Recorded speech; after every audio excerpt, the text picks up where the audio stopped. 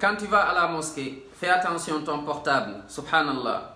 Combien, combien de frères et de sœurs qui dérangent les gens dans la maison d'Allah subhanahu et qui viennent, tu, tu entends la musique dans la mosquée. Ça ne sied pas à la place, à cet, à cet endroit, à la mosquée, à la maison d'Allah subhanahu. Donc fais attention.